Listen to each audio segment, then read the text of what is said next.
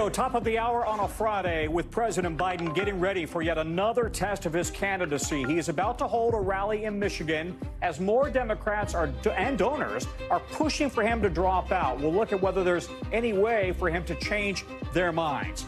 Plus, pretty much all of the customers of one of the country's biggest cell phone companies are victims of a hack their call and text records stolen. We'll tell you what was taken in this massive breach and how you can make sure your data is safe.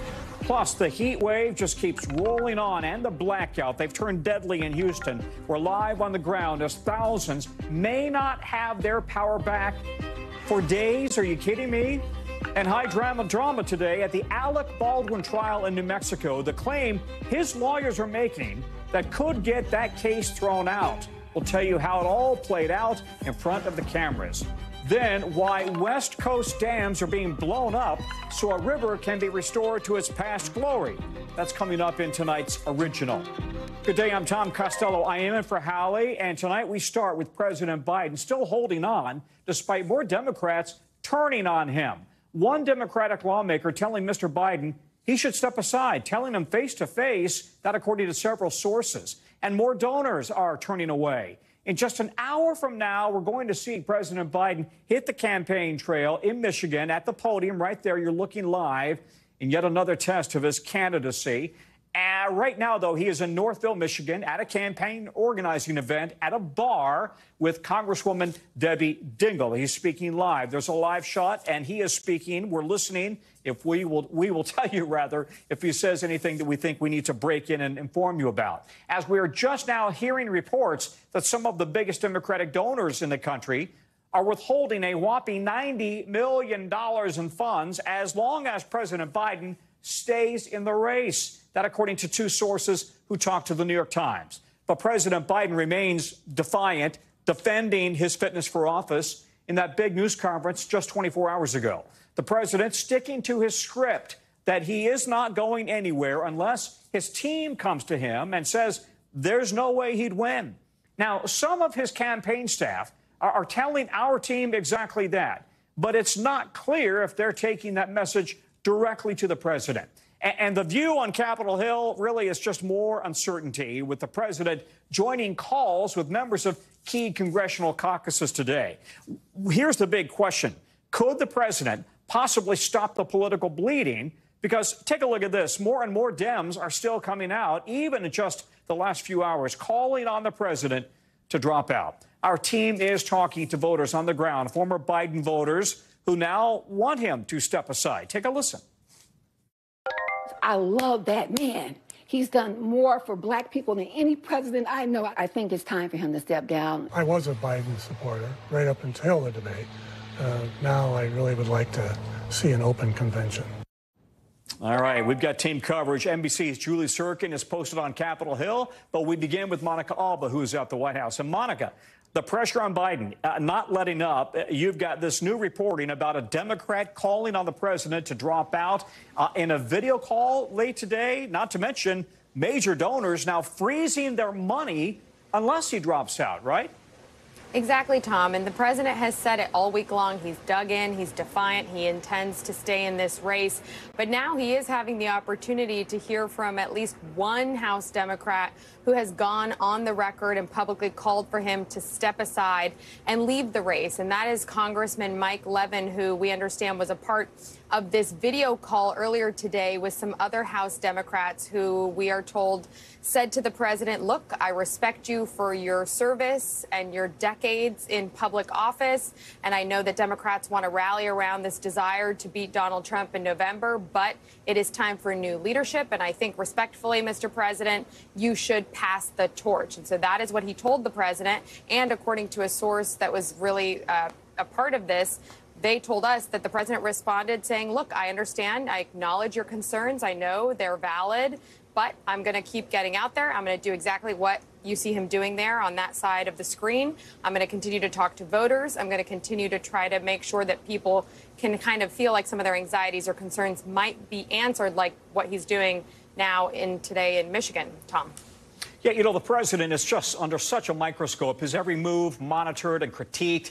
What what might he say or do to try to turn a, a page here that seems like a huge challenge? And it does feel like every single day we're talking about some new benchmark with which to evaluate it. And it was that first major network interview, and then it was some of those campaign stops, and then it was this press conference last night to wrap up NATO. Now it's perhaps Monday's pivotal interview with our own colleague, Lester Holt, and then a couple of other campaign events that he's going to be having in Texas and Nevada that follow. So I think basically everything the president is now doing publicly will continue to be scrutinized, but according to his campaign, according to the yeah. White House. He is just trying to be out there, and they have conceded that maybe he hasn't had as many unscripted moments as he should have had, and they're going to attempt to rectify that in part. Tom. Uh, by the way, Monica, as you speak, if the president says anything about staying in or dropping out of the race, we'll dip back in. But let's just say people close to the president somehow convinced him to step aside. What would the process look like for presumably Vice President Harris to become the nominee? That's not just an overnight quick fix, right? Right. And I have to say, Tom, I think really, truly, it will be completely up to Joe Biden to make that decision. And even if there are people that come to him and tell him that there's no path or that there's an issue, again, that will still really reside with him and him alone. But let's say that he does down the line come to that conclusion and decides that he isn't going to be the Democratic nominee.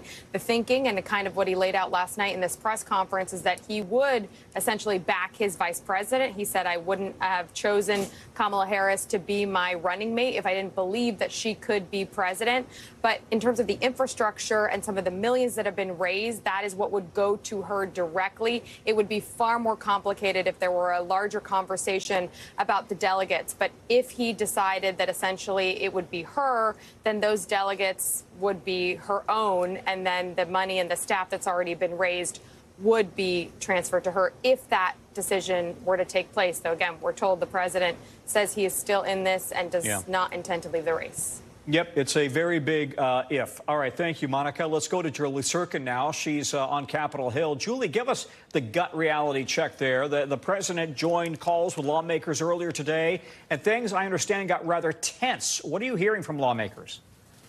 Yeah, Tom, he joined two separate calls today. He has at least two more on the hook tomorrow with different factions of the Democratic caucus as he hears from members directly expressing their concerns. Today, he had two meetings, one with the Congressional Hispanic Caucus, where, as you heard Monica report, our sources told us that uh, Mike Levin, who became the latest Democrat in just the last couple of hours to publicly call on Biden to pass the torch, as he said in a statement, a Democrat from California, he told Biden directly on this call, according according to our sources, three different things here. He said, one, look, Mr. President, I respect your record. Of course, this is not a direct quote. This is just a summary of what he told Biden. I respect your record, but we need to put the strongest candidate forward to win in November against Donald Trump. He said that that is not Biden at this time, asking him again, of course, to pass the torch. So really interesting that these are having direct conversations between the president and members on these calls who are very concerned in recent days, given that debate performance and everything since.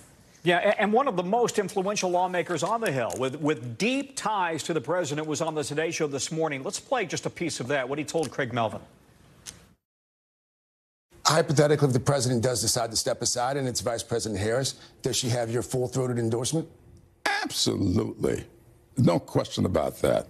She has acquitted herself well in the job as vice president, and he never would have picked her in the first place if he did not think that she was capable of being president. Well, it's clearly a problem when a president loses members of his own party on Capitol Hill. Where does it go from here? Tom, that count up to 19 now with the addition of Mike Levin that I was just telling you about. Five total since Biden's press conference yesterday, his news conference closing out the NATO summit. Uh, that sources have told me neither moved the needle, didn't move the needle in either direction. That people who had their minds made up continue to hold the same posture after that press conference. Of course, you had a few frontliners joining the call for that, including Levin. That is something that the president is paying attention to. But so far, no intention of stepping aside. Tomorrow, he'll have more calls calls with the Progressive Caucus and some frontliners as well, Tom. Julie Tsirkin on Capitol Hill. Thank you, Julie. Uh, tonight, the FBI is investigating a massive AT&T breach that has compromised millions of American cell phone calls and texts. AT&T says hackers stole six months worth of call and text message records earlier this year from nearly all of its cellular customers, more than 100 million people.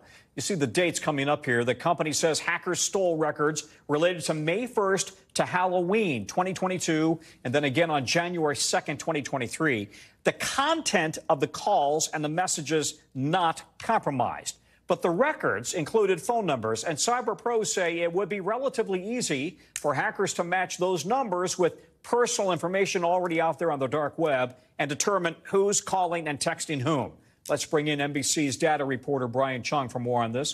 Brian, I, talked to uh, several cyber pros today who say this data could compromise private information about who you're calling, texting, confidential police informants, medical information, national security sources. Really, it could be invaluable to a foreign country or even organized crime. Yeah, and what makes all this even more alarming is the breadth of how many people are affected by this. So by some estimates, it's over 109 million people because this affects virtually every phone call and text message that was done on AT&T over that six-month period in 2022. And naturally, a lot of people are going to be asking the question, well, why is it that we're only hearing about this now in 2024? Well, on one hand, uh, AT&T says that it itself was only aware of this uh, breach as of April of this year, and then between April and now, it had essentially been working with the Department of Justice and the FBI to try to find those behind this particular data breach before disclosing it publicly. And the AT&T did say that they have apprehended at least one person. But I want to emphasize the data contains phone numbers. So if you and I texted each other during that period in 2022, they would have the phone numbers associated with those interactions, but they would not have yeah. the content of those calls or texts. That's a very important distinction, Tom. Absolutely. But, for example, if I'm a journalist and you're a whistleblower and uh, you and I are texting back and forth. It's a big deal. The concern is that information will be valuable to whoever the whistleblower is kind of re, is is talking about, right? Whether it's a company, whether it's a government agency, whatever.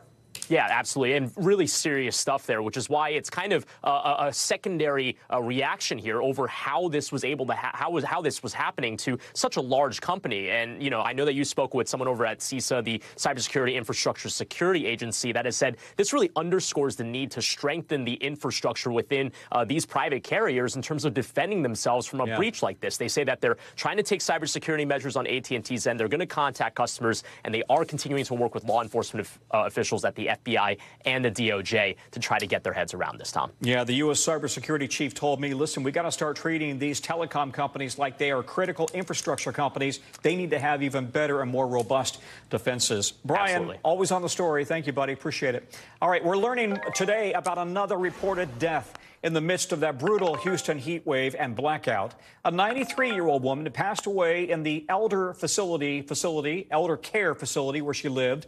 The medical system there has been just pushed to the breaking point with at least a dozen hospitals still relying on backup generators. Roughly 875,000 people in Houston are still without power as of this morning. Houston's electricity provider hopes to get power restored to 80 percent by Sunday night. People are going to social media there to share their experiences. Take a look. Luckily, we were able to find some ice, so we got some cold drinks at least. And really, the only relief we've found is putting like towels in the ice water and just putting them around our necks or our backs.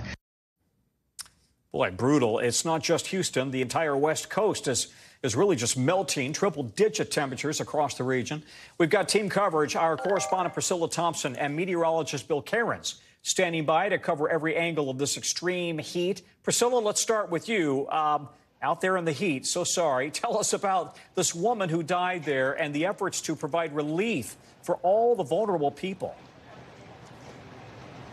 Yeah, Tom, well, I will say we're getting a bit of rain right now, which is cutting into some of that heat, but obviously creating problems with regard to trying to get the power back on. But I want to give you a quick look at where we are. We're here at a distribution site where folks are able to line up and they're going to be getting ice. They're going to be getting water. There are also some bags of non-perishable down, non-perishables down there. And so this is one of the ways that people right now are getting by without having electricity, unable to keep food inside of their um, refrigerators. And we've been speaking to folks who are out um, in these lines, and this is what they're doing right now to get by. But as you mentioned, we have been seeing extreme heat, and that uh, has caused some deaths. We're talking about um, this 93 year old woman, Barbara Sturgis, her son saying that the heat may have been a factor in her death. She was at this independent uh, living facility where they were using backup generator power to cool a lot of the common areas. And he said that he went there on Tuesday and he felt like the temperature was okay. But when he went Thursday morning, when he was notified of his mother's death,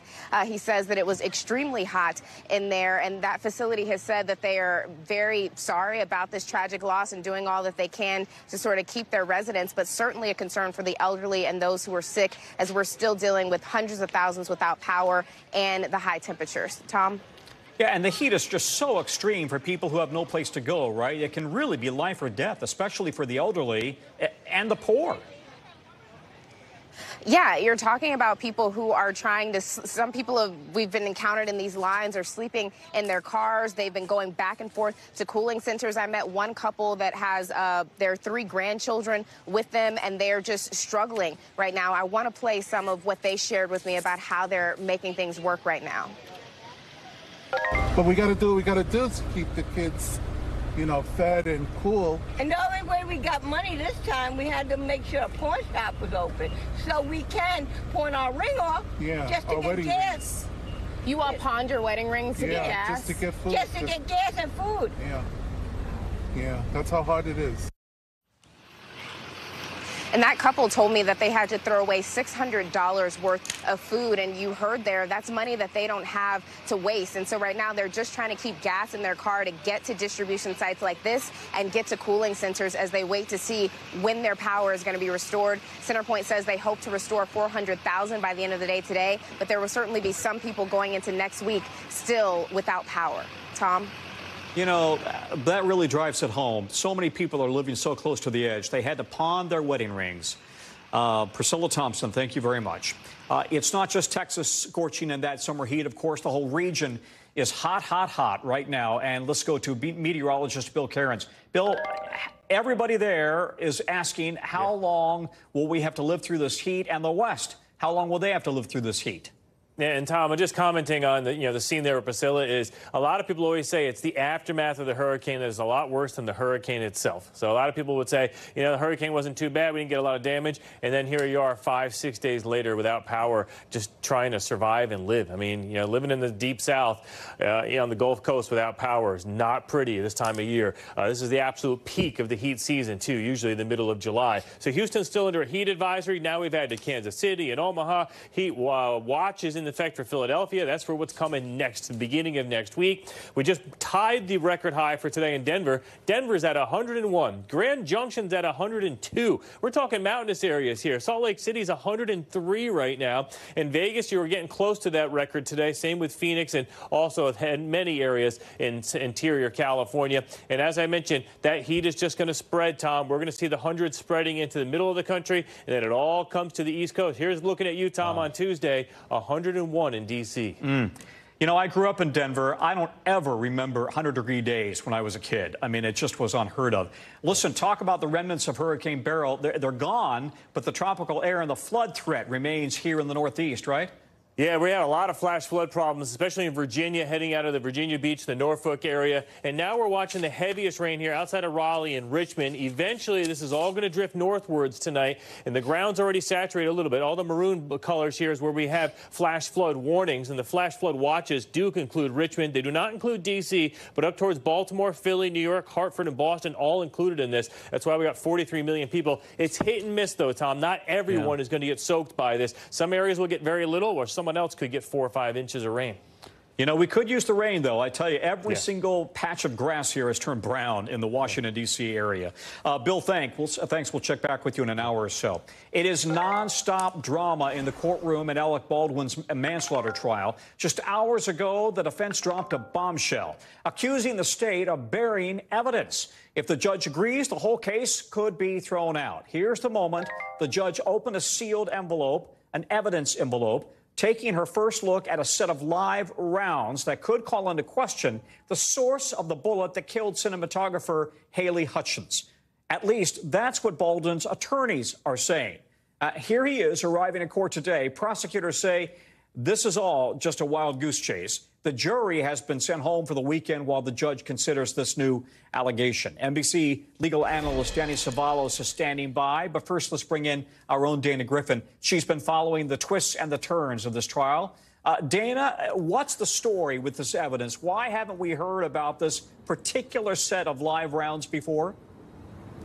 Well, it's a good question, Tom. We just learned moments ago in court because, again, this motions hearing has been going on for hours and it's happening as we speak. We just heard from the lead detective in the case that these rounds, who were brought in by a friend of the armorer's father, who is also a fellow Hollywood armorer, he brought these in first to the courtroom on March 6th. That happens to be the day that Hannah Gutierrez Reed was convicted.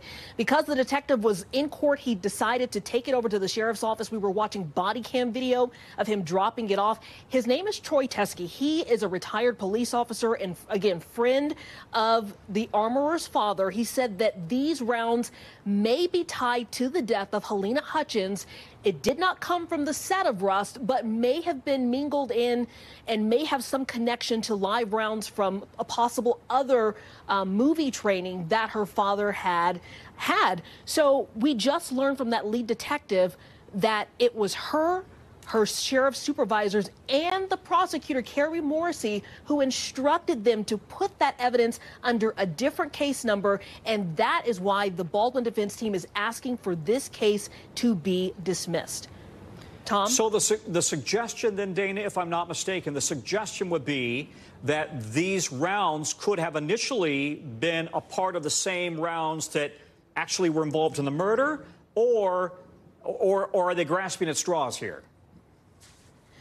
Well, the state the state says that this is a wild goose goose chase. These rounds are not connected to the rounds that were covered from the movie rec recovered from the film set of Rust yeah. because they are different colored primers than the live rounds that were found, but they look similar to the dummy rounds. So if these rounds that were brought in happen to be commingled and they were and, and someone thought that they were dummies it could very well have been mixed in. And that's why we are where we are today because the judge is trying to get to the bottom of where these rounds came from and was it relevant to this case and should the defense have gotten notice about it? And if they weren't it is grounds to have this case potentially dismissed Tom. All right, Dana, boy, you've, you've got us all hanging on your every word. Thank you very much. Let's go to Danny Cevallos yeah. right now, our legal analyst. All right, buddy, you're a defense attorney. If Alec Baldwin was your client, what would you be expecting right now? And I got to say,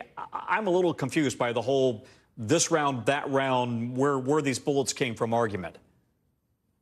I can make it a lot easier for you. The prosecution may ultimately be right that these rounds were brought in by a friend of the armorer's father. And the prosecution's theory is basically that, hey, he brought these in to muddy the waters, and it really is a wild goose chase. And they may be right about that. But here's the important thing it's not the prosecutor's call whether evidence is a wild goose chase or it's relevant to the case. Our system places a great deal of trust in prosecutors because they have that first look at the evidence and they decide what to disclose and what not to disclose. We trust them with this. And so just because the prosecution thinks, hey, we this is no big deal, it's a wild goose chase, that doesn't mean they didn't have an obligation to disclose it.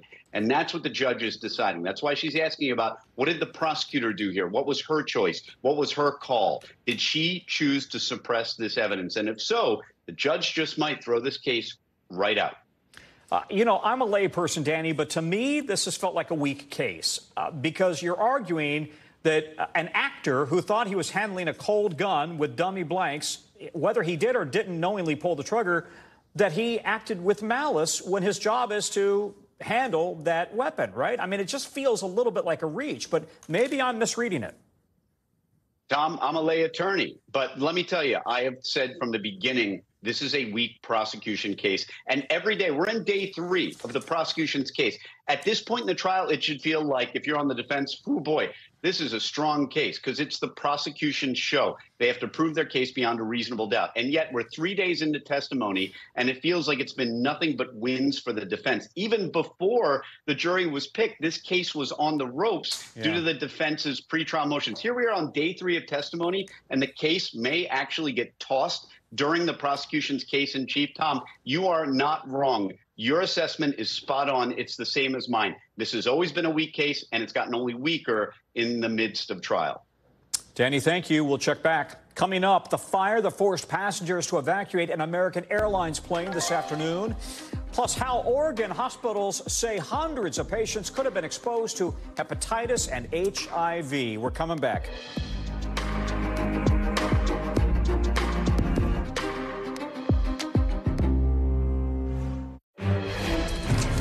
We're back, bottom of the hour. We have some breaking news. An American Airlines flight forced to evacuate on the ground after a fire broke out inside the plane. Again, it was on the ground at San Francisco International Airport. Fire rescue says the fire was put out and there were three very minor injuries. Nobody transported to the hospital. The flight was bound originally for Miami. Let's go to NBC's Jesse Kirsch with more on this. Uh, everybody's nightmare. You don't want to ever have a fire on a plane, right, Jesse? No, absolutely not, Tom. So what we're hearing from officials at the airport is that there was smoke detected in the cabin by the crew. And as you can imagine, that would trigger an emergency response. Like you said, three minor injuries, no medical transports. We're told this was a departing flight from SFO. And this is uh, just further complicating the week for American Airlines. This is the second incident in three days that has gotten attention nationwide for this airline. On Wednesday, they had a flight that was taking off from Tampa, and that plane had an issue with its tires, according to the airline. There was video of that that appeared to show uh, smoke and, and uh, some brightness coming off of, of, the back tire area on that flight on Wednesday. And again, uh, with this incident, no injuries have been reported, Tom, but we'll stay on top of it.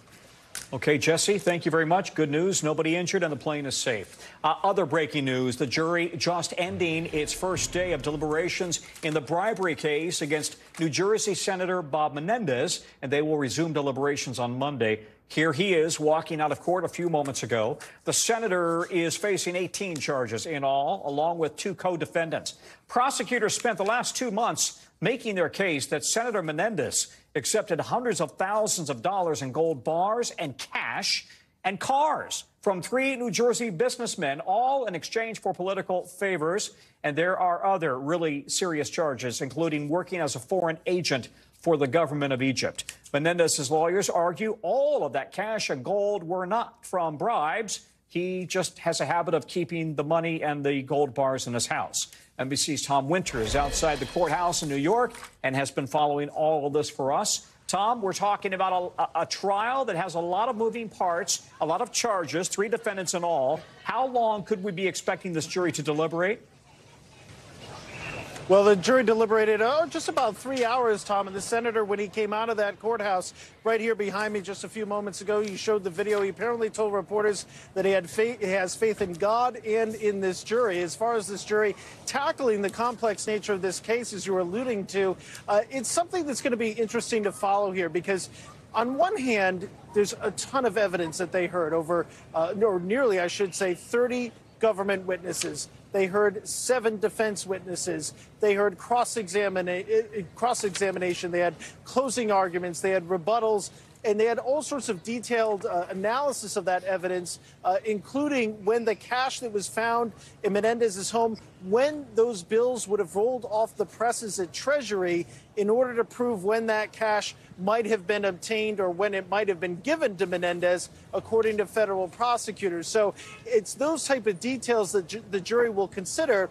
But when you look at the verdict form, if the jury believes that there was a bribery conspiracy here, if they establish that and there's a unanimity, unanimity among the jury along those lines, then the rest of the bribery count should fall pretty quickly. So it's possible by early next week we'll get a verdict here. And you'll be there. I know. Tom, thank you very much. Uh, let's get you over now to the five things our team thinks you should know about tonight. First up, one person is dead and two are missing after a tourist company's helicopter crashed off the Hawaiian island of Kauai. The FAA is investigating. Kauai authorities say they will provide an update later today. Last year, the FAA created a new process for air tour operators there after deadly crashes in recent years. Number two, just in the last couple of hours, we're learning Meta is going to lift restrictions on former President Trump's Facebook and Instagram accounts. You'll recall his accounts were suspended after January 6th when and then reinstated in 2023, but with penalties now, Meta says that the party's conventions are coming up. It believes Americans should get to hear from the presidential nominees on some basis. Number three, health authorities in Oregon are telling more than 2,000 patients treated at two hospitals to get tested because they may have been exposed to HIV and hepatitis.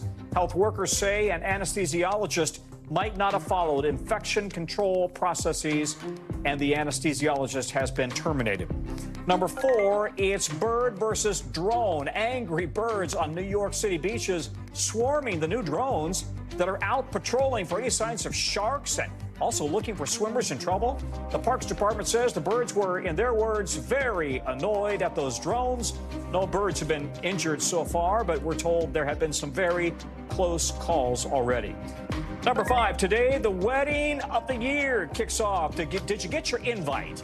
The youngest son of Mukesh Ambani, that's Asia's richest man, marries his longtime girlfriend. Celebrities and politicians arriving in Mumbai, India. There you go.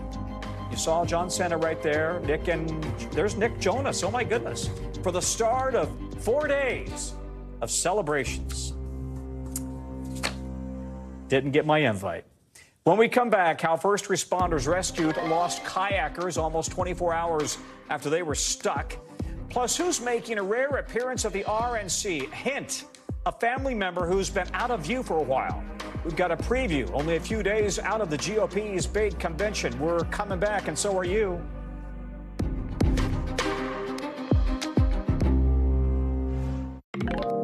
I told you you'd be back. NBC covers hundreds of stories each day, and because it's tough to read, to watch, or listen to everything, our teams, our bureaus have done it for you and for me. This is what they say is going down in their regions.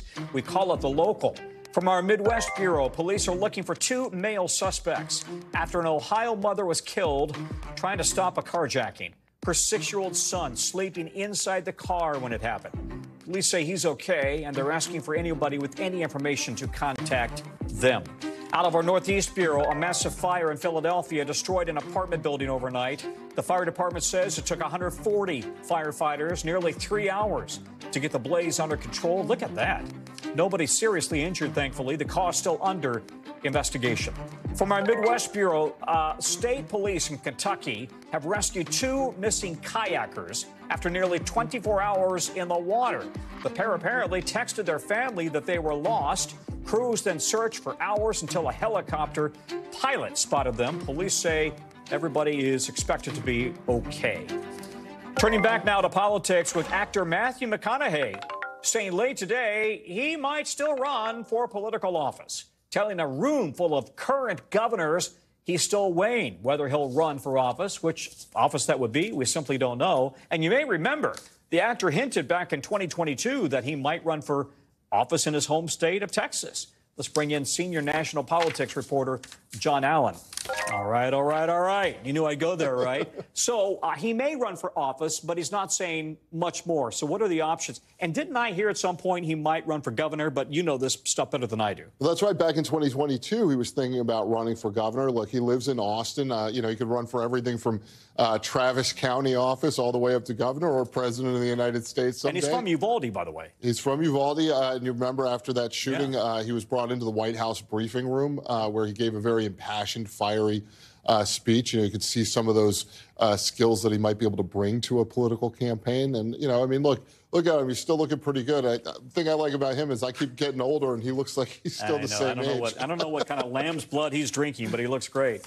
Um, so you know, it could could be anything, but uh, he What's obviously wants to be involved. What's your guess? My guess is he doesn't end up running for anything at all. Well, but, it doesn't pay as much as he's making now. Right, it pays a lot less, and and and by the way, it requires a lot a lot of frustrating, uh, you know, efforts to get things done. Yeah. It requires a lot of deep dives into policy, um, you know, and so maybe he ends up doing it. Uh, certainly, we are in a culture right now that rewards celebrity.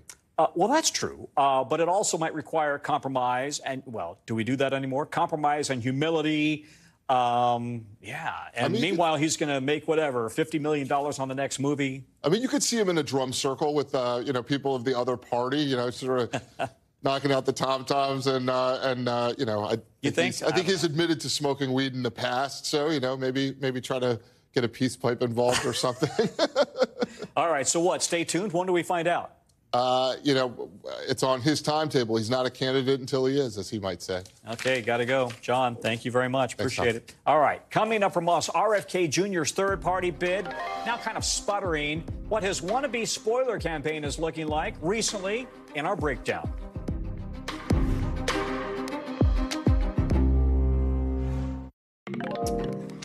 Turning back to politics now with Republicans gearing up for their national convention kicking off in just a couple of days. Melania Trump, someone we haven't seen really at all so far this cycle, is now confirmed to attend that event in a rare public appearance. Who else could be there? Mr. Trump's future pick for VP, perhaps. With the former president late today indicating Marco Rubio, J.D. Vance, Doug Burgum, and Tim Scott are all on the list. And he's also comparing the selection process to his old reality show, The Apprentice.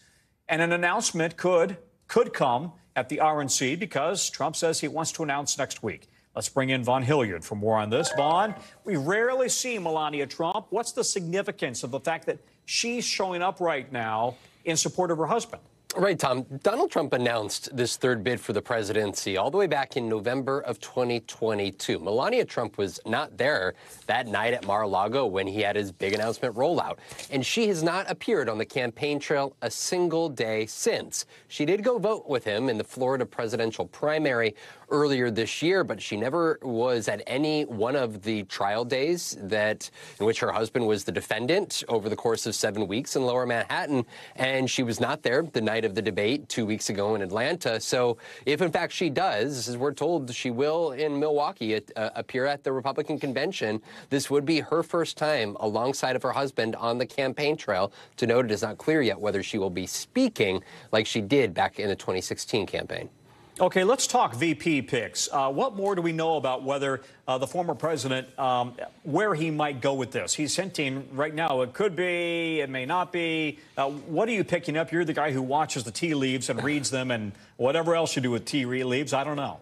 and sometimes, you know, the leaves, they blow a little bit. And this is for Donald Trump. Two weeks ago, he said that he had the person made up in his mind. But then just today, in a radio interview, he said that there are four or five people on his mind. He named four of those individuals Tim Scott, Marco Rubio, J.D. Vance, Doug Burgum. And he suggested that he could make his mind up potentially even on Monday, the first day of the convention. So each of these individuals we expect to come uh, to the convention, but he could announce that running mate really at any moment that he so desires to do so, Tom. Uh, and he'll do it apprentice style, apparently. This will be uh, interesting. All right. Vaughn, thank you. Vaughn Hilliard watching Thanks, it my all. You can catch our live coverage of the RNC on Monday night at 9.30 p.m. Eastern right here on NBC News Now. The independent candidate Robert Kennedy Jr. is also heading to Wisconsin next week to stump for votes while the Republican convention is going on. This is we're learning that he reportedly sent a text message apologizing to a woman who accused him of groping her back in 1999. It's just the latest in a string of sort of bizarre stories about Kennedy that have surfaced during the campaign.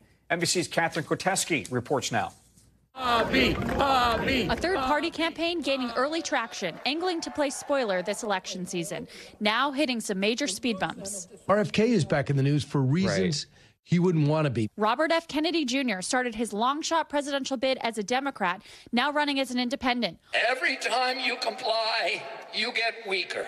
Always controversial for his strong anti vaccine stance and support of conspiracy theories. But an article published by Vanity Fair now adding to the list of bad press to combat with numerous allegations from his past. It features a photo of Kennedy with what writers identified as a dog carcass, leading to a whirlwind of coverage, forcing him to respond.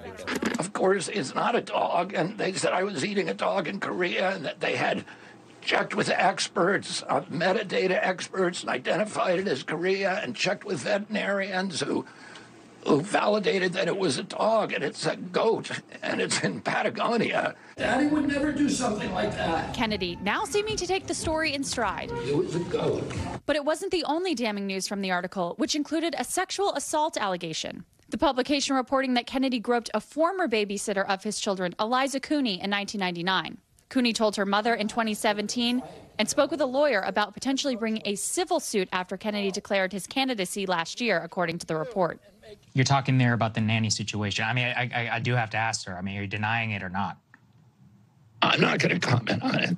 First reported by the Washington Post, but confirmed by NBC News, RFK Jr. reached out to Cooney in a text message two days after the Vanity Fair story, saying that he does not remember the alleged incident and apologizing for, quote, anything I ever did that made you feel uncomfortable. When the Washington Post reached out to Kennedy for a response, he said, quote, the text message speaks for itself. NBC News reached out to the campaign for comment but did not hear back and has no record of a civil suit ever being filed. The Vanity Fair bombshells dropping while the RFK Jr. campaign was already at a low point, failing to qualify for the first presidential debate hosted by CNN in June. Kennedy not getting a bump in the polls despite President Joe Biden's struggles. Perhaps surprising after a quick start. As both major parties concerned he could shake up the race. But as early excitement gained momentum, so did anger from some family members. I'm excited to vote for Joe Biden. Siblings and cousins trying to protect the Kennedy name, calling out the use of his uncle's jingle and likeness in a Super Bowl ad.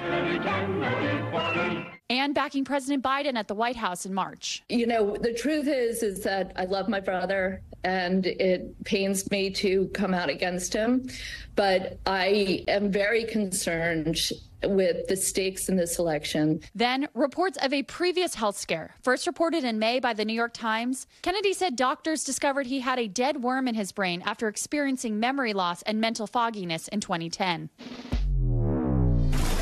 The news flying in the face of his uber fit image, trying to contrast himself with the older Trump and Biden. Kennedy is 70 years old. Now, running into technical hurdles and a cash shortfall as well. He is currently only on the ballot in 11 states, and according to the latest FEC filing from May, the campaign spent more money than raised. Thank you so much for being here today. His running mate, Nicole Shanahan, now keeping the campaign afloat. A former lawyer, entrepreneur, and ex wife of Google founder Sergey Brin donating millions to fund the long shot bid as she keeps a low profile on the trail. But in a tight race between two major parties, even a relatively small showing for RFK Jr. could swing the election. The Democrats are frightened that I'm going to spoil the election for President Biden. Republicans are frightened that I'm going to spoil it for President Trump. The truth is, they're both right. My intention is to spoil it for both of them. And NBC's Katherine Koretski uh, joins me now. Katherine, uh, RFK Jr. heads to Wisconsin next week where the Republican National Convention is taking place. So, what are his plans? Yeah, Tom, exactly right. So RFK Jr. headed to Wisconsin, the crucial swing state as we look ahead to November where the RNC is taking place, like you mentioned. His campaign telling me this morning that he does plan on hosting a few events. Um, he's also going to be there in front of the media where the people are. He's going to be able to talk to voters um, on Wednesday in an event focusing on farming, um, as well as a few other events that have yet to be announced. But, you know, a, a big state uh, headed into November, the RNC coming up, according to an AARP poll uh, taken after the June 27th debate, former President Trump up slightly ahead of President Biden, and RFK Jr. keeping that 9% uh, high single digit percentage, which is um, common across many polls for him. So, could be a factor in this election, especially in Wisconsin. It's going to be a busy couple of days and a busy week on the campaign trail for uh, Katherine, all these I've got, Tom. I've got 10 seconds. Who is he pulling that support from? 9%. Who is he pulling it from? Trump supporters or Biden supporters? Yeah, so a poll uh, that was taken a few months ago said it was Trump, but as we get closer to November, the debate was obviously a big factor. So we'll see as time goes on. But um, okay. right now, it's former President Trump. All right, Katherine, thank you very much. Still to come from us, how demolishing dams is literally changing the landscape, bringing new life to the Pacific Northwest. That's coming up in our original, and it's a cool story, so stick around.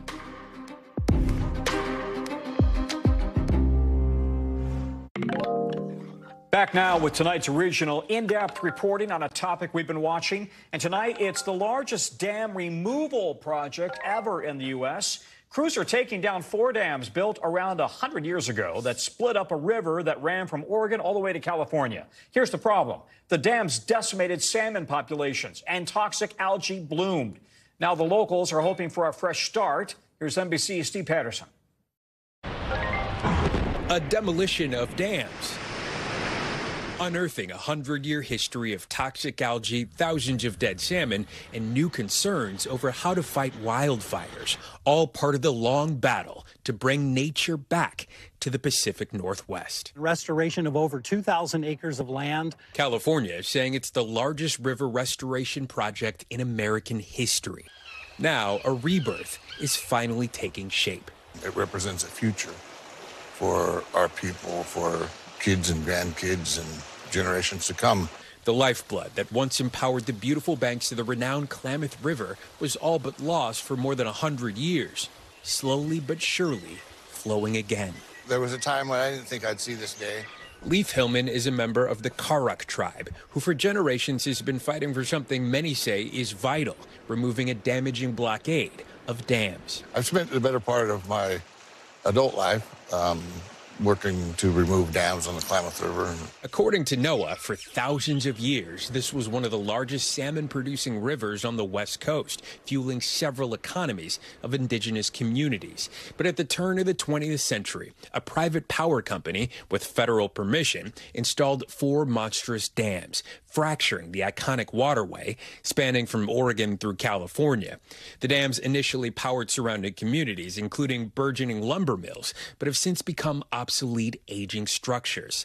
And in the stagnant water reservoirs created by the dams bloom toxic algae. We were the first to discover this toxic algae the salmon were decimated. The nonprofit in charge of the project, the Klamath River Renewal Corporation, estimates more than 90% of the native salmon species has been lost since the dams were installed.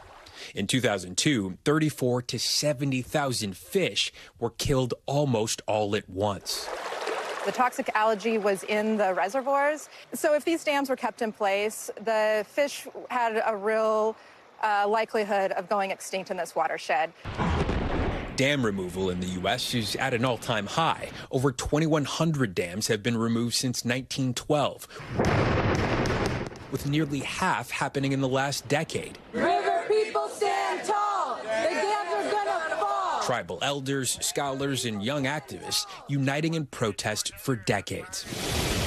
But there are some pain points. With wildfire season ongoing, losing reservoirs created by the dams impacts the way wildfires are fought in the region. Klamath River Renewal Corporation CEO Mark Bransom has dedicated years to finding some creative solutions, like helping to build a network of remote sensing cameras and better access points. So they have the ability to dip water from the river or to drive right down to the river's edge to fill water trucks, and that will really help replace the loss of the reservoirs as a wildfire fighting water source.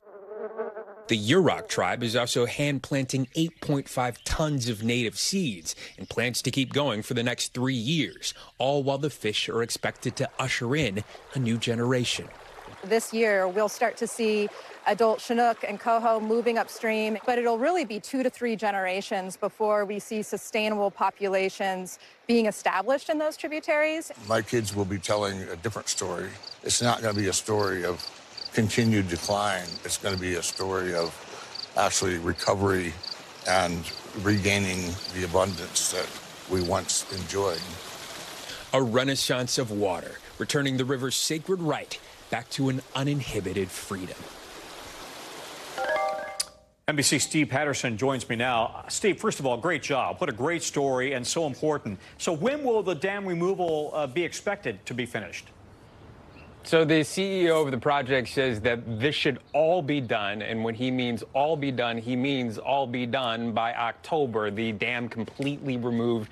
There shouldn't be a sign of a speck of any equipment or even a piece of dirt that you saw there behind them. This should be a completely free-flowing river like it was for hundreds of years come October or November. Now, what does that mean for necessarily the wildlife coming back? That's sort of a different answer. It could take generations generations for like the salmon to repopulate, for the vegetation to grow back after all the work they've done planting it. That's got, not going to be us. That's not going to be our children. It may be our children's children before we see the results. But the groundwork being laid and this taking down the dams, such an essential part of it. Tom? Steve, you know you've got the corner on the wildlife stories and the and the cool, cool spots out of the Pacific Northwest. Good job. Keep going. It's a good good storytelling, and we need it. All right, buddy. All right. I'm lucky. Uh, well, yes, you are. Uh, you're also good. That's a wrap for this hour. Coverage resumes right now on News Now.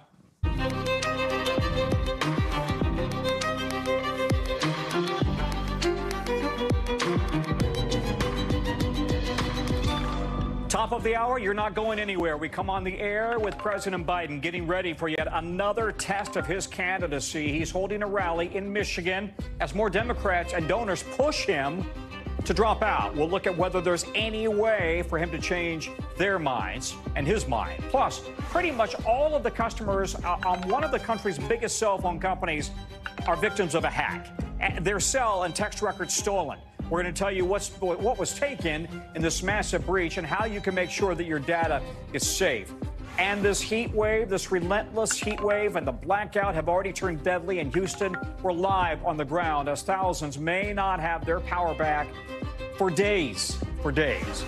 Then high drama today at the Alec Baldwin trial. Boy, this is confusing. The claim his lawyers are making that could get the case thrown out. We'll tell you how it all played out in front of the cameras today. Plus, passengers forced to get off their American Airlines flight in San Francisco. The video just in from inside the plane coming up later in the show. Thankfully, everybody's okay. The fire department on the scene. Good day. I'm Tom Costello in for Hallie. And tonight we start with President Biden still holding on, telling supporters in Michigan in just the last hour that he is still the man for the job, despite more Democrats, more Democrats turning on him. One Democratic lawmaker telling him to his face he should step aside. That, according to several people that NBC News talked to, and also more donors are turning away. Any minute, we're going to see President Biden on the campaign trail in Michigan. At the podium, you're looking at live right now. The introduction is beginning in yet another test of his candidacy. As we're just hearing reports, some of the biggest Democratic donors in the country, mega donors, are withholding a whopping $90 million in funds as long as he, President Biden, stays in the race. That, according to sources who talked to the New York Times. But President Biden remains defiant, defending his fitness for office in that big news conference just 24 hours ago. And listen, people are watching. New numbers from Nielsen show 25 million people, 25 million, tuned into that press conference. The third most watched non sports event of the year. The president sticking to his script here that he is not going anywhere unless his team came to him and said there's no way he would win. Now, some of his campaign staff are telling our team exactly that, but it's it's not clear if they're taking that message to the president. And the view on Capitol Hill, more uncertainty, with the president joining calls with members of key congressional caucuses. With a big question still, could the president possibly stop the political bleeding? Because take a look at the screen here. More and more Democrats are coming out, even in just the last few hours, calling on Mr. Biden to drop out. So our team is talking to voters on the ground, former Biden voters who like him and want him to step aside. Take a listen. I love that man. He's done more for black people than any president I know. I think it's time for him to step down. I was a Biden supporter right up until the debate. Uh, now I really would like to see an open convention. All right, we've got team coverage. NBC's Julie Tsirkin is posted up on Capitol Hill right across the street. But we begin with Monica Alba down the street. She's at the White House. And Monica, there's quite a split screen here between the turmoil in D.C and this optimism the president is trying to strike on the campaign trail, right? Exactly, Tom. And it was the president himself who said earlier this week that he likes to dismiss the pundits, the elites, as he likes to call them, and that what he really wants to do during this critical time while his campaign is struggling and in crisis, frankly, is to get out and meet with real voters and Americans who will be making this difficult decision about whether to vote for him or sit at home potentially in November if he is still the Democratic nominee. And what he effectively is trying to argue here is that when he goes to places like Wisconsin, like Pennsylvania, like Michigan today. When he talks to voters, he says he still feels like they want him to continue in this race.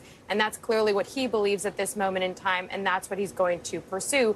But it isn't enough. It is really not enough to quiet some of these concerns and anxieties that you're hearing directly from Democratic lawmakers and from even the external pressure and the outside of the bubble apparatus in Washington of people who have worked either with him for a long time or who are a part of the Obama administration who are really just raising what many voters in some polling are reflecting, which is that they do have concerns about his path forward and his ability to remain at the top of the ticket. But he's going to have a very busy couple of days trying to make this case. He's going to be heading to Texas and then on to Nevada Monday and Tuesday. And we should also point out he has an important interview with our own colleague Lester Holt scheduled for Monday as well, Tom. You know, I, I got to say, I just reread this number because it really struck me. 25 million people tuned into the press conference yesterday. That is the third biggest uh, event, the third most watched non sport event of the year. I mean, a lot of people saw him do certainly better than he did on the first debate. Uh, so there's that, right? And then secondly, $90 million being withheld. That's a lot of money. Uh, and that hurts the campaign, right? With big donors saying they're not going to pony up that 90 million until he steps out. Yeah, that's right, Tom. And that specific 90 million figure is related to what's known as a super PAC. So it's an outside group separate from the actual Biden campaign or the Democratic National Committee and their affiliated entities that raise money. Now, those groups are saying that grassroots support is strong, that they actually saw an increase in donations from people who are chipping in $5, $10, $15 during the president's press conference last night. So they're trying to say that that kind of donation and fundraising momentum is going okay, but it is definitely the big ticket donors that have tremendous concerns and have been raising them yeah. ever since his poor debate performance. So I do think that that is a big concern. And yes, you are right to highlight all of those eyeballs. The fact that that many million people watched, it was also really, frankly, a matter of it slid back so much that it ended up yeah. being in prime time when it wasn't originally de designed that way. So I think even more people saw it because of that, Tom. Yep, uh, very interesting. Uh, all right, people close to the president, uh, let's assume that somebody convinces him to step aside. Yes, it's his decision. But the process for potentially Kamala Harris to become the nominee, I understand the money would shift, right, to her. The money that is raised for him would shift to her. But logistically, is it possible that she could get on the ballots in individual states? Well, and that's why the timing is so critical here, because we're talking about the Democratic National Convention when there would be the formal process that would take place should this happen, should something shift. We know that that is deeper into August, but there was supposed to be an even virtual roll call deadline ahead of that. So then we're talking more about early August. So we're really shrinking that down to just these critical next few weeks if there was going to be some change. But it is easier because Kamala Harris is already on the ticket as a vice president to transfer the entity, the apparatus, the campaign infrastructure, and the money to her should that happen. But again, the president and his senior aides are saying right now there are absolutely no plans for that, though the president conceded last night that should that be necessary, of course, that's why he picked her to be his running mate, and he has confidence that she could serve if that's necessary. Okay, Monica, thank you very much. Let's go to Julie Tsirkin right now with a view from Capitol Hill. And Julie, we, we know Nancy Pelosi told members to wait until after NATO to express their concerns about the president. NATO is over. They're leaving town. What now? Well, what now, Tom, is that five additional members since the conclusion of that press conference, since Biden finished his visits with those NATO, NATO leaders, have come out since and has have called on Biden to step aside to exit the race. Three of them coming today, uh, two of them, excuse me. The latest being Mike Levin, who actually, before he put out a statement calling on Biden to pass the torch, sources told us that on a Congressional Hispanic Caucus call with the president, Levin directly confronted Biden, telling him, "We've appreciated what you've done. I respect you. I respect your uh, four years as president in the White House. It is time to pass the torch to somebody who can beat Donald Trump in November. That is significant, of course. Biden replied, according to our sources, telling him, This is why I'm having these calls with all of you, so you can ask me these tough questions, so I can be put on the spot in front of all of these members. He held that call, Biden did, with members of the Congressional Hispanic Caucus, later talking to members of the Asian Pacific American Caucus. Tomorrow, Tom, he has other calls scheduled, according to sources we spoke to, including the Progressive Caucus. Pramila Jayapal, who chairs that panel, told me earlier this week that she has a lot of questions for the president. She certainly wants to hear from him directly so that she can make sure that her concerns, her members' concerns, are answered as well. And the new Democrats uh, also scheduled to have a call with President Biden. This is a group of frontliners, members that represent vulnerable swing districts. These are people who, of course, have been especially nervous because Biden being at the top of the ticket indicates that perhaps they could suffer when it comes to November. And it's time for voters to vote and, and check those boxes all the way down the Democratic ticket. So, a really pivotal couple of days. I know we keep saying this, Tom, but certainly now that NATO has left town, as Pelosi has certainly in her legacy here, she has refrained from um, criticizing anyone, even Donald Trump, when it comes to presidents meeting with foreign leaders. So this is really typical for her. But you saw what Clyburn, another prominent Democrat, said today about Biden sort of leaving the door open for a potential change on the ticket down the line. So far, though, as you heard Yep. from Monica Biden, vowing to stay in, Tom. Julie, thank you. We got to move on. We've got breaking news just coming in right now. Just learning now that the case against Alec Baldwin in the Rust shooting trial has been dismissed. We bring in our NBC Dana Griffin reporter and legal analyst Kristen Gibbons Feden is also with us. Uh, Dana, what a shocker, right? Give us the, the, the highs and lows. What just happened? My goodness. I mean, I've never witnessed something like this happen, but essentially the judge agreed with Baldwin's defense that the evidence that could have helped their case was held against them, essentially prosecutorial misconduct. They said that evidence was withheld, these rounds that were brought into the sheriff's office back during Hannah Gutierrez Reed's trial, but was never disclosed to the defense. So they brought this up during their arguments because they had a motions hearing. Kari Morrissey, the prosecutor in this case, took the stand in her own defense, so to speak. And that's when we learned her co counsel, Erlinda Johnson, resigned today. And the lead detective on the case is the one who said that it was her, her sheriff supervisor, and prosecutor Kari Morrissey that decided to put this evidence under a different case number, which ultimately let it sort of disappear. And so, just in the courtroom, we saw the judge read out that this conduct was highly prejudiced to the defense, and you saw actor Alec Baldwin break down into tears as the judge granted their motion to dismiss. His family emotional. He stood up, left the courtroom. Uh, we are working to get more details about what's happening now outside of that courtroom, but obviously a major shocker in this case, and also it's important to remember what is the family of Halyna Hutchins thinking at this moment. They were looking for justice in this case, and they said that they were, you know, hoping that anyone held accountable would be brought, you know, would be judged by a peer, their peers and a jury. So it's it, it's a it's a tough day for the family who's looking for answers, but for the Baldwin defense, a major win in this case. Tom.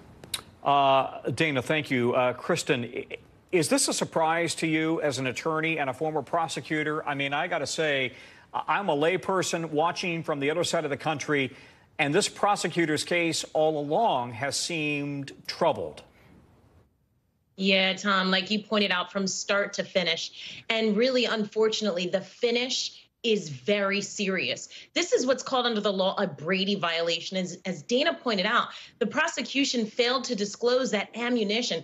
That was critical evidence, but most importantly, evidence that, if tested by the defense, could have been favorable to their defense. And the fact that it was put under a different case number really highlights that level of misconduct that could have been, um, well, actually, that the judge actually found. So this dismissal request, I mean, the judge could have done many things. They could have sanctioned, they could have given defense more time to test that evidence, but the judge found this display of withholding this evidence, putting it under a different case name so that it looked like it wasn't part of this case to be so egregious that the judge actually invoked the most serious sanction that happens in these types of cases when there is a Brady violation, and that's the Yeah. dismissal of the case Yeah. entirely. Uh, don't go anywhere, Kristen. Dana, we've got video just into us right now of Baldwin's reaction Okay. in court as he broke down crying when the judge dismissed the Yeah. case. Uh, and so Alec Baldwin will leave New Mexico uh, a free man, uh, not facing any more charges related to the death of, um, of the director of the movie that he was producing. And I'm just wondering, as you look at th- those are pretty authentic emotions coming from him. This has been an extraordinarily stressful time for him, right? Yeah, absolutely. It's super stressed. And you can only imagine because remember, if we walk through the history of this case, he was charged with involuntary manslaughter. The charges were dropped at one point. Yeah. The former special prosecutor had. Uh, attached this special enhancement that would have possibly landed him five years in prison, but it was the wrong charge to attach because that law was enacted after the shooting. And then January of this year, a grand jury indicts him on the same charges. He has fought time and time again to try to get this case dismissed. They have alleged prosecutorial misconduct for several other issues. So to get to this trial and to have this major bombshell be revealed, not only does it impact Baldwin's case, but you best believe the defense attorney for the armorer, Hannah Gutierrez Reed, will likely try to request her case be overturned. What if she, she may now be released from prison because that the evidence of these rounds was really more helpful or possibly exculpatory to her case because she alleged that these that she didn't know that where those live rounds came from and that this box either she didn't know where it came from or that she got it from the supplier. So we may likely have to re- the judge may likely have to review not only her case um sorry will review the evidence that was presented in this case but also her case. So this Yeah. this legal fight is not over tom Dana, uh, real quickly, uh, let's pause because we've just now got the sound in. This is the judge issuing the order when she dismissed the case against Baldwin. Let's play that. The sanction of dismissal is the only warranted remedy. The jury has been sworn, jeopardy has attached, and a mistrial would not be based upon manifest necessity.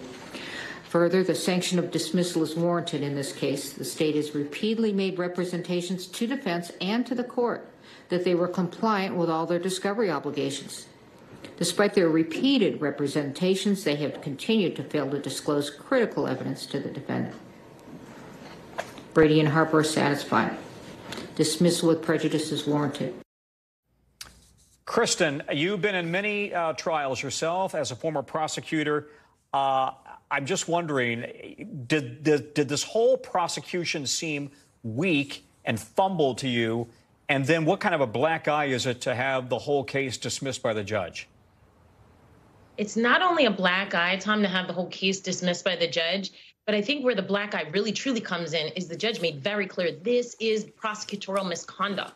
And why is it prosecutorial misconduct? The very last thing any prosecutor ever wants to be accused of is a Brady violation. And that means that you did not turn over critical evidence to the defense. And based on the way that the judge stated it, it really implies or really explicitly states that it was intentionally withheld. Sometimes Brady violations are by my, by mistake, and so the case can come back down.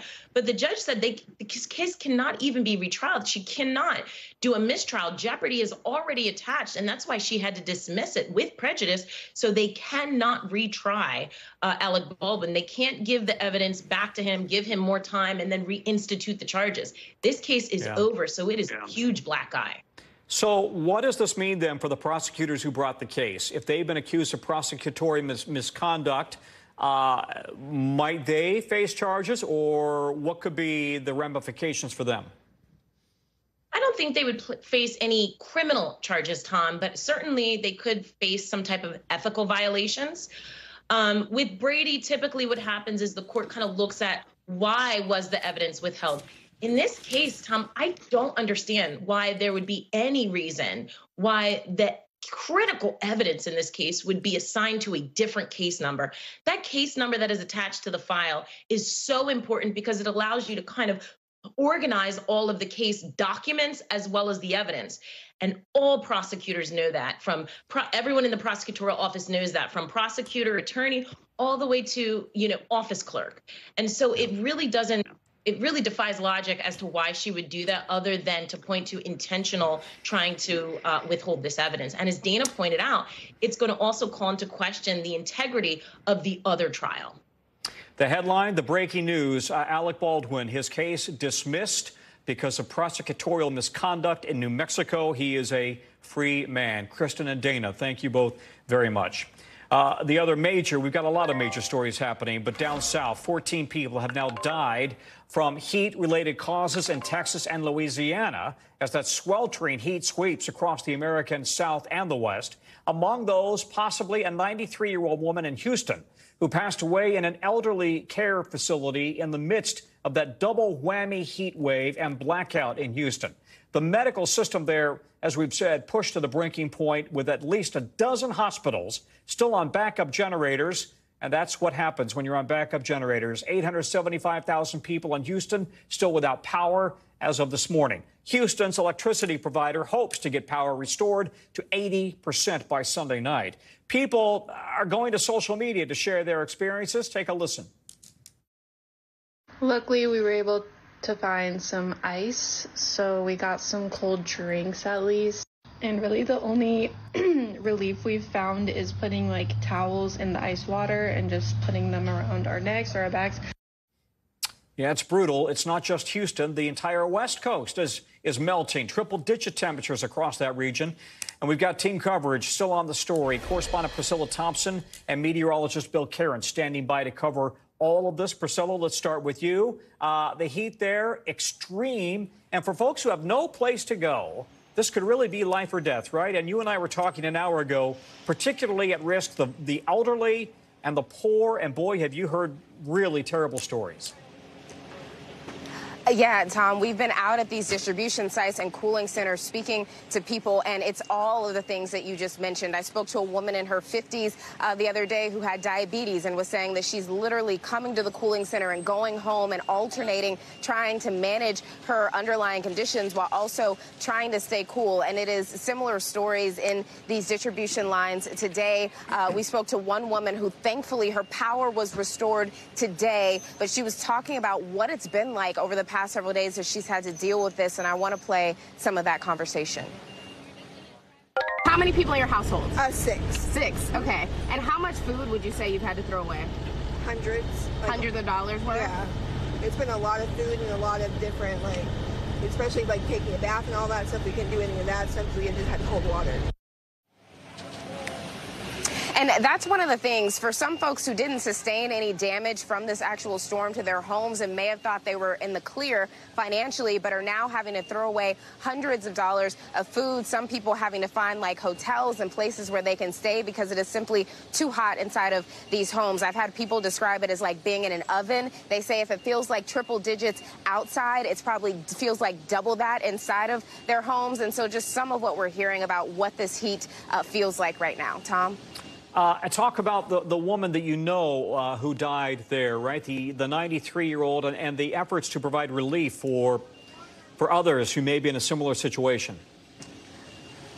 Yeah, so Barbara Sturgis was her name. She was living in an independent um, living facility. That facility was without power. They had been using a backup generator to cool off some of the common areas. Um, and her son is the person who said that, you know, when he went there on Tuesday, he saw that the generator was working. It was fairly cool in there, but that he got a call Thursday morning that his mother had died. And when he went in on Thursday, he said that it was much hotter in there than it had been when he was there even a few days earlier. So no official word confirming that her death was heat related, but her family certainly feels like that may have been a factor. And as you mentioned, there were 14 people across Texas and Louisiana that were killed in this storm, and at least four of those deaths have been confirmed related to heat. So it's definitely a major issue heading into the weekend. People, you know, officials don't want to see any more people die as a result of this heat and lack of power, uh, in addition to the impacts of the storm. Tom? Yeah, another another long weekend. Uh, Priscilla, thank you very much. Uh, it's still not just Texas scorching in that summer sun. The whole region is, is really hot. Let's go to meteorologist Bill Karins. Bill, how long are people? I know I, we ask you this all the time, but you can understand people tune in and they want the latest. How long are people going to be dealing with this heat? When will we get relief? All right, so the West Coast, Tom, is actually going to improve as we go through the weekend, but the middle of the country and then the East Coast, the heat wave comes roaring back, and in some cases, it'll be worse than what we just experienced this past week. I mean, now we're smack in the middle of what we usually call the hottest time of year in the United States. That's usually like as we get to the second and third weeks of July. So it's not a big surprise, but it's just it's just endless. We just need a break every now and then. So now we're up to 66 million. We just added everyone here in the middle of the country, and also we added the Philadelphia area. Houston's still under a heat advisory, by the way. Over the weekend, Houston's expecting 94 degrees both days. The heat index will get up there right around 104 to 106. So still very, very unpleasant if you're anywhere without air conditioning. Denver's still sitting at 101. We noticed Salt Lake City jumped up. They're only one degree away from your record high. Vegas has tied the record high for the day. Phoenix, you're one degree away. So we're still a little early, mid, or say middle of the afternoon. We're going to add a couple degrees to these. So we are going to break more records in the West, just like we've been doing all along. And as we look at tomorrow, we continue very warm. I mentioned it starts to spread another. Can you believe it? We're going to end up with three 100 degree days in a row in Denver. That's almost unheard of. Uh, Wichita will be 100, and then the heat and humidity is back up and down the East Coast. Nashville near 100 Monday, Tuesday. D.C. Monday, Tuesday should be right around 100, if not above 100, and it's going to be humid on the East Coast too, Tom. So not enjoyable. And uh, make sure that AC's fine tuned. Change that filter too, because you don't want it failing next week. Yeah. Hey, is Canada open? yes. well, okay. For me, I don't know about you. I don't know what trouble you've been in, but. All right, Bill. Thank you very much. Tonight, the FBI is investigating a massive AT&T breach that has compromised millions of American cell phone calls and texts. AT&T says hackers stole six months worth of call and text message records earlier this year from nearly all of its cellular customers, more than 100 million people. Take a look at the dates here. The company says hackers stole records related to May 1st to Halloween 2022, then again January 2nd of 23. The content of the calls and the messages not compromised, but the records include phone numbers, and cyber pros say it's relatively easy for hackers to match those numbers with personal information already on the dark web and determine who's calling whom and texting whom. NBC's Brian Cheung joins us now.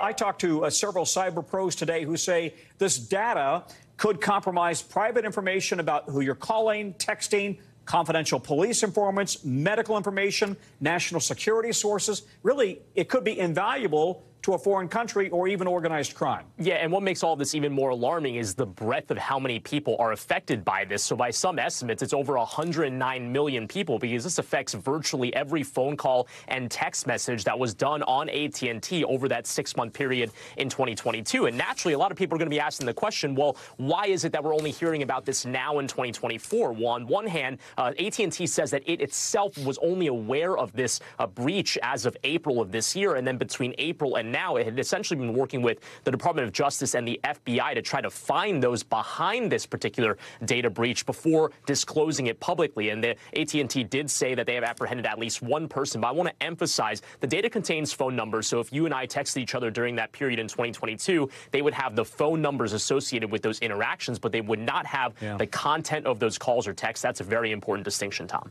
Absolutely. But, for example, if I'm a journalist and you're a whistleblower and uh, you and I are texting back and forth. It's a big deal. The concern is that information will be valuable to whoever the whistleblower is kind of re, is is talking about, right? Whether it's a company, whether it's a government agency, whatever.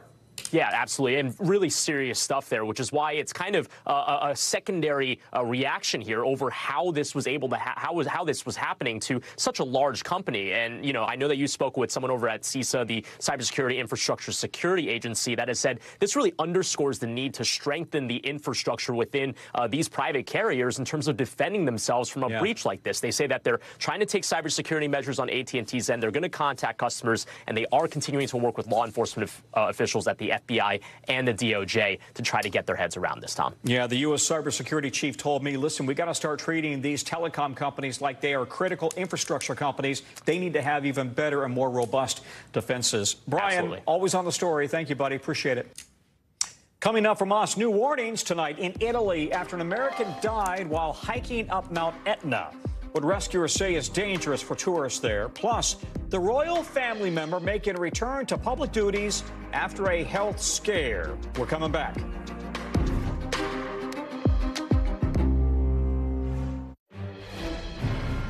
Back now with breaking news. Uh, a look at brand new footage of this uh, coming into us now. A look inside the cabin of an American Airlines flight that was forced to evacuate after a small fire broke out inside the plane while it was on the ground at San Francisco International Airport. You can see the chaos there and the smoke. Patients make that parents clutching their children, people climbing over the chairs trying to get out of the cabin. Thankfully, fire rescue teams say the fire was out pretty quickly. There were only three very minor injuries. The flight was bound for Miami. Let's go to NBC's Jesse Kirsch with more. Do we know yet what was the cause of this fire, Jesse?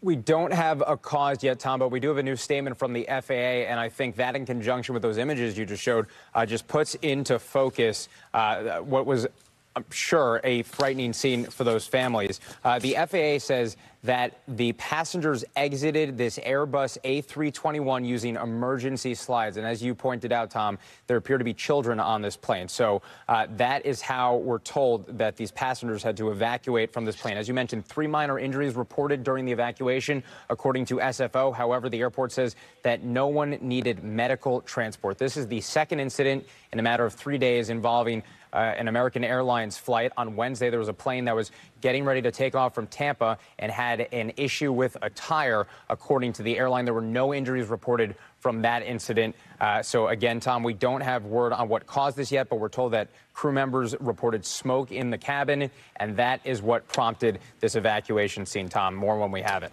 Yeah, and, and um, let's make the point in the cabin while the plane is on the ground. It's not an engine fire. Um, uh, there was some uh, some speculation that maybe a lithium battery issue, and we've had a lot of those lately, but no confirmation, right?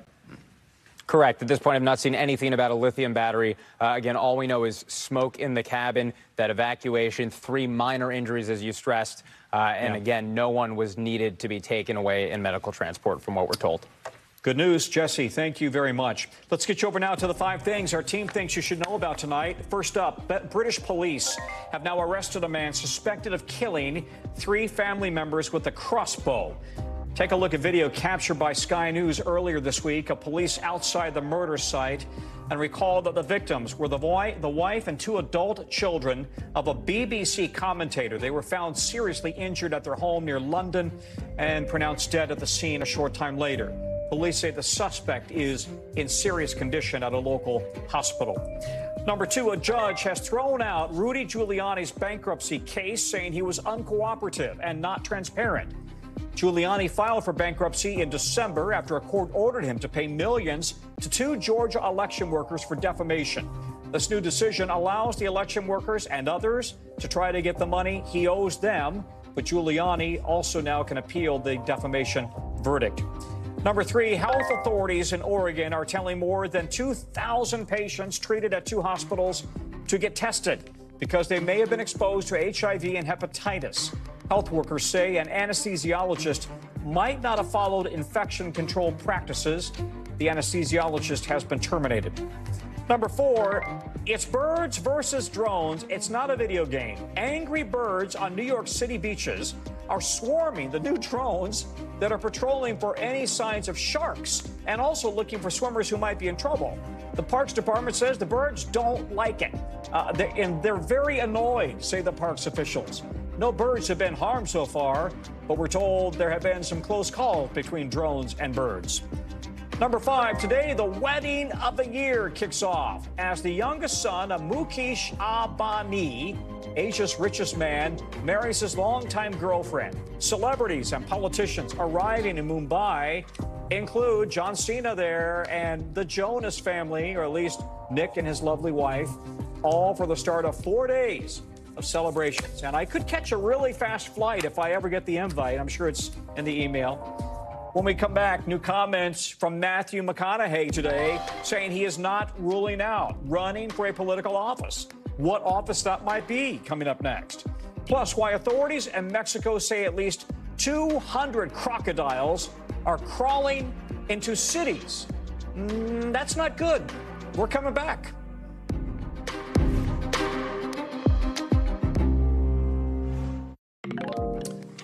We're back. NBC News covers hundreds of international stories every day, and it's tough to read, watch, or listen to everything. So our bureau teams have picked out a few highlights. Here's what they say they're watching. We call it the global. From Italy, Italy's Alpine Rescue Service says an American tourist has died after falling ill during a hike on Mount Etna. An air ambulance apparently found him, a 55 year old, in a remote area. Rescue teams say they don't know the cause of illness yet, but they're warning tourists not to underestimate high temperatures and humidity there. In Mexico, heavy rains caused at least 200 crocodiles to crawl into cities near the border with Texas. Police captured and relocated dozens of them after the hurricane hit the area.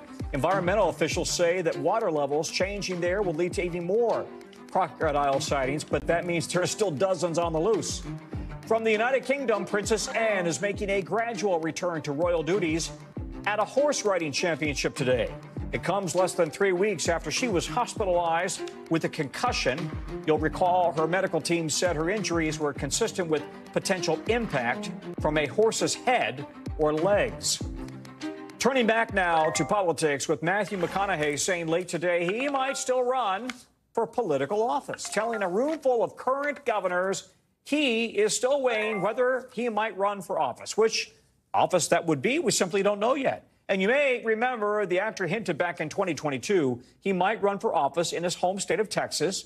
So we bring in senior national politics reporter John Allen all right, all right, all right. You knew I'd go there, right? so uh, he may run for office, but he's not saying much more. So what are the options? And didn't I hear at some point he might run for governor? But you know this stuff better than I do. Well, that's right. Back in 2022, he was thinking about running for governor. Look, he lives in Austin. Uh, you know, he could run for everything from uh, Travis County office all the way up to governor or president of the United States someday. And he's from Uvalde, by the way. He's from Uvalde. Uh, and you remember after that shooting, yeah. Uh, he was brought into the White House briefing room uh, where he gave a very impassioned, uh, speech. You know, you could see some of those uh, skills that he might be able to bring to a political campaign. And you know, I mean, look, look at him; he's still looking pretty good. I, the thing I like about him is I keep getting older, and he looks like he's still I the know, same I don't age. Know what, I don't know what kind of lamb's blood he's drinking, but he looks great.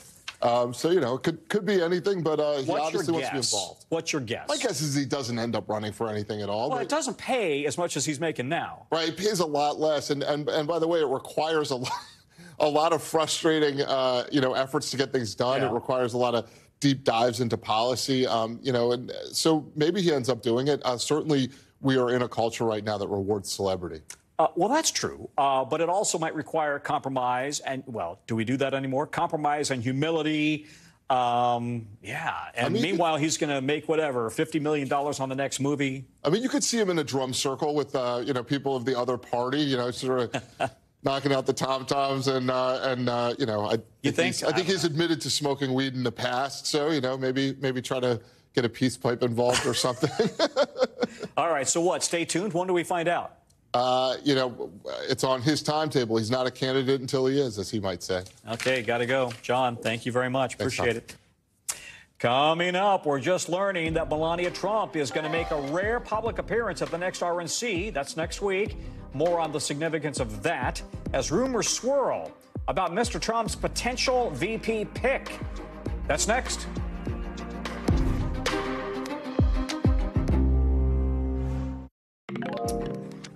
Turning back to politics now with Republicans gearing up for their national convention kicking off in just a couple of days. Melania Trump, someone we haven't seen really at all so far this cycle, is now confirmed to attend that event in a rare public appearance. Who else could be there? Mr. Trump's future pick for VP, perhaps.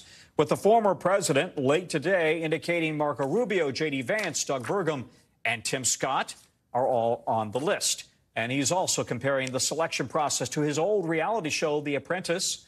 And an announcement could could come at the RNC because Trump says he wants to announce next week. Let's bring in Vaughn Hilliard for more on this. Vaughn, we rarely see Melania Trump. What's the significance of the fact that she's showing up right now in support of her husband?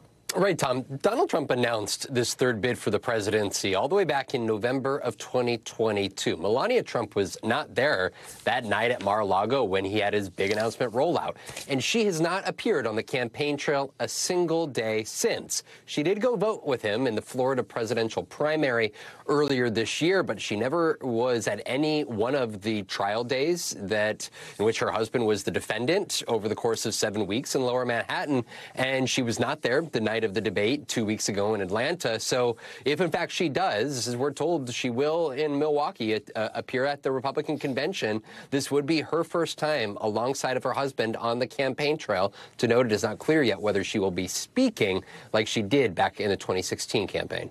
Okay, let's talk VP picks. Uh, what more do we know about whether uh, the former president, um, where he might go with this? He's hinting right now it could be, it may not be. Uh, what are you picking up? You're the guy who watches the tea leaves and reads them and whatever else you do with tea leaves, I don't know.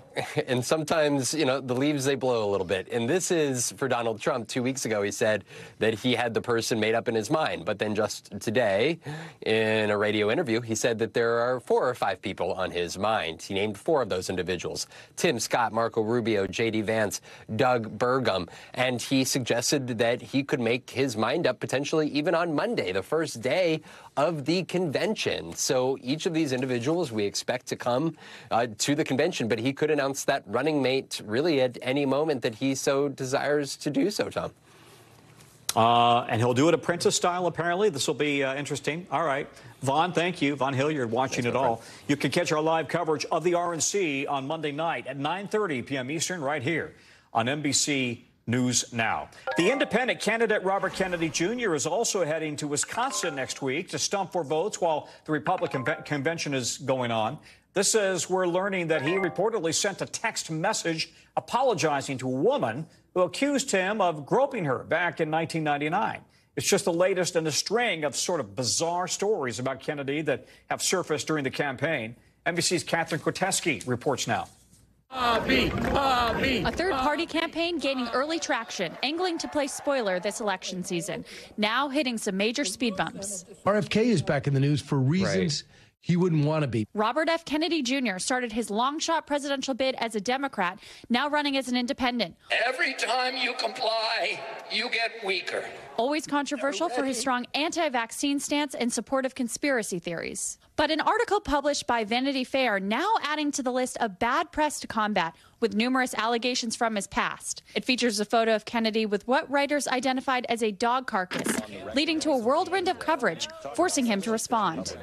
Of course, it's not a dog, and they said I was eating a dog in Korea and that they had checked with experts, uh, metadata experts, and identified it as Korea, and checked with veterinarians who who validated that it was a dog and it's a goat and it's in Patagonia. Daddy would never do something like that. Kennedy now seeming to take the story in stride. It was a goat. But it wasn't the only damning news from the article, which included a sexual assault allegation. The publication reporting that Kennedy groped a former babysitter of his children, Eliza Cooney, in 1999. Cooney told her mother in 2017 and spoke with a lawyer about potentially bringing a civil suit after Kennedy declared his candidacy last year, according to the report. You're talking there about the nanny situation. I mean, I, I, I do have to ask her. I mean, are you denying it or not? I'm not going to comment on it. First reported by the Washington Post, but confirmed by NBC News, RFK Jr. reached out to Cooney in a text message two days after the Vanity Fair story, saying that he does not remember the alleged incident and apologizing for, quote, anything I ever did that made you feel uncomfortable. When the Washington Post reached out to Kennedy for a response, he said, quote, the text message speaks for itself. NBC News reached out to the campaign for comment but did not hear back and has no record of a civil suit ever being filed. The Vanity Fair bombshells dropping while the RFK Jr. campaign was already at a low point, failing to qualify for the first presidential debate hosted by CNN in June. Kennedy not getting a bump in the polls despite President Joe Biden's struggles. Perhaps surprising after a quick start. As both major parties concerned he could shake up the race. But as early excitement gained momentum, so did anger from some family members. I'm excited to vote for Joe Biden. Siblings and cousins trying to protect the Kennedy name, calling out the use of his uncle's jingle and likeness in a Super Bowl ad. And backing President Biden at the White House in March. You know, the truth is is that I love my brother and it pains me to come out against him, but I am very concerned with the stakes in this election. Then, reports of a previous health scare, first reported in May by the New York Times. Kennedy said doctors discovered he had a dead worm in his brain after experiencing memory loss and mental fogginess in 2010. The news flying in the face of his uber fit image, trying to contrast himself with the older Trump and Biden. Kennedy is 70 years old. Now, running into technical hurdles and a cash shortfall as well. He is currently only on the ballot in 11 states, and according to the latest FEC filing from May, the campaign spent more money than raised. Thank you so much for being here today. His running mate, Nicole Shanahan, now keeping the campaign afloat.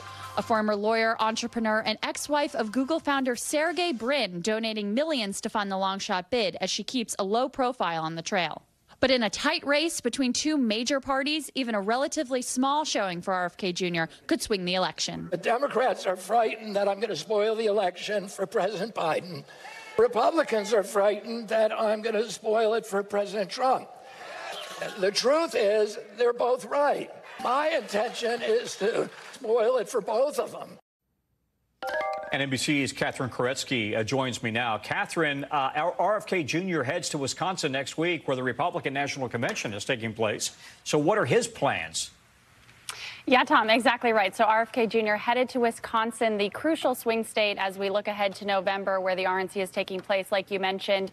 His campaign telling me this morning that he does plan on hosting a few events. Um, he's also going to be there in front of the media, where the people are. He's going to be able to talk to voters um, on Wednesday in an event focusing on farming, um, as well as a few other events that have yet to be announced. But, you know, a, a big state uh, headed into November, the RNC coming up. According to an AARP poll, uh, taken after the June 27th debate, former President Trump up slightly ahead of President Biden, and RFK Jr. keeping that 9% uh, high single digit percentage, which is um, common across many polls for him. So, could be a factor in this election, especially in Wisconsin. It's going to be a busy couple of days and a busy week on the campaign trail for uh, Katherine, all of I've got, Tom. I've got 10 seconds. Who is he pulling that support from? 9%. Who's he pulling it from? Trump supporters or Biden supporters?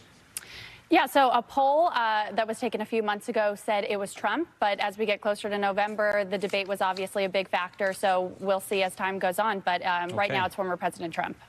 All right, Katherine, thank you very much. Still to come from us, how demolishing dams is literally changing the landscape, bringing new life to the Pacific Northwest. That's coming up in our original, and it's a cool story, so stick around.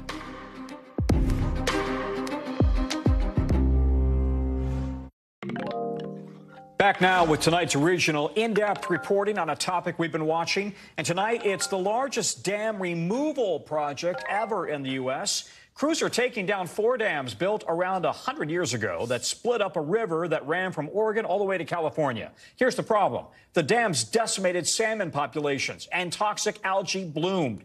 Now the locals are hoping for a fresh start. Here's NBC's Steve Patterson. A demolition of dams unearthing a hundred year history of toxic algae, thousands of dead salmon, and new concerns over how to fight wildfires, all part of the long battle to bring nature back to the Pacific Northwest. Restoration of over 2,000 acres of land. California is saying it's the largest river restoration project in American history. Now, a rebirth is finally taking shape.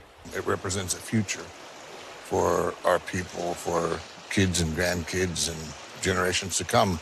The lifeblood that once empowered the beautiful banks of the renowned Klamath River was all but lost for more than a hundred years, slowly but surely flowing again. There was a time when I didn't think I'd see this day. Leaf Hillman is a member of the Karuk tribe, who for generations has been fighting for something many say is vital removing a damaging blockade of dams. I've spent the better part of my adult life um, working to remove dams on the Klamath River. According to NOAA, for thousands of years, this was one of the largest salmon producing rivers on the West Coast, fueling several economies of indigenous communities. But at the turn of the 20th century, a private power company with federal permission installed four monstrous dams, fracturing the iconic waterway spanning from Oregon through California. The dams initially powered surrounding communities, including burgeoning lumber mills, but have since become obsolete aging structures. And in the stagnant water reservoirs created by the dams bloom toxic algae. We were the first to discover this toxic algae. The salmon were decimated. The nonprofit in charge of the project, the Klamath River Renewal Corporation, estimates more than 90% of the native salmon species has been lost since the dams were installed. In 2002, 34 to 70,000 fish were killed almost all at once. The toxic algae was in the reservoirs. So if these dams were kept in place, the fish had a real uh, likelihood of going extinct in this watershed.